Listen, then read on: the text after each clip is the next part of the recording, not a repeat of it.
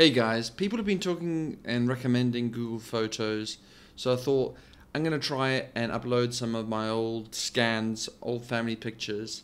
Um, currently, they sort of look like this.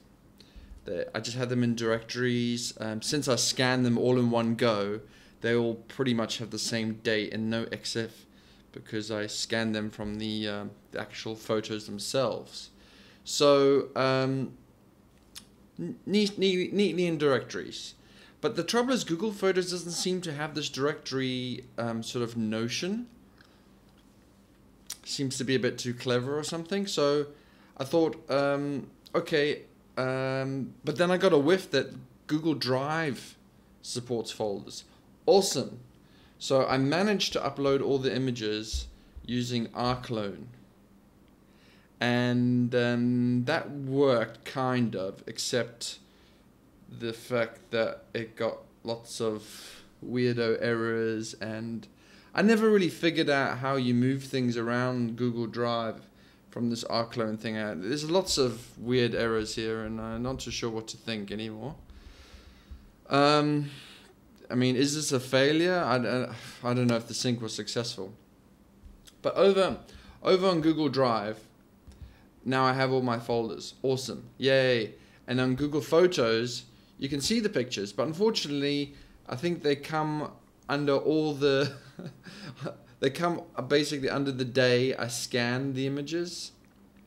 So um, yeah, and they're lacking the folder information. You see, I, I, I neatly had everything in folders, you know, just to categorize different batches, and now that's sort of lost. Um, so I'm thinking Google Photos is not really appropriate. Then I got like a a little notification here, and it says like we have created a stylized photo for you. I mean, who? I don't give a rat's ass if you created a stylized photo. Like, what are you? Why?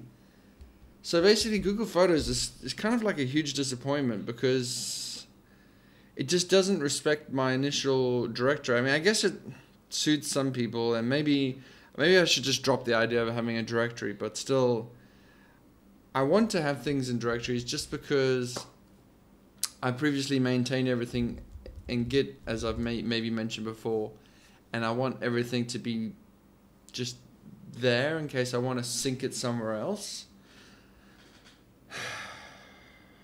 I mean, all the Google Photos stuff is very cool and everything, but like, ultimately, all these like artificial intelligence, whatnot, and all that stuff about identifying faces, when you have to move, and if you become reliant on their categories and all that stuff, then I don't see how you're going to possibly move.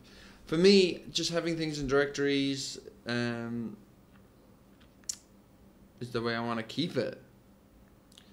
So and and furthermore, since everything is just in Google Photos, there's no way I can send my parents the link about you know the time we went on that holiday because it's lost that that information, and it doesn't seem to be a way of of creating an album from a folder. So. Uh-uh.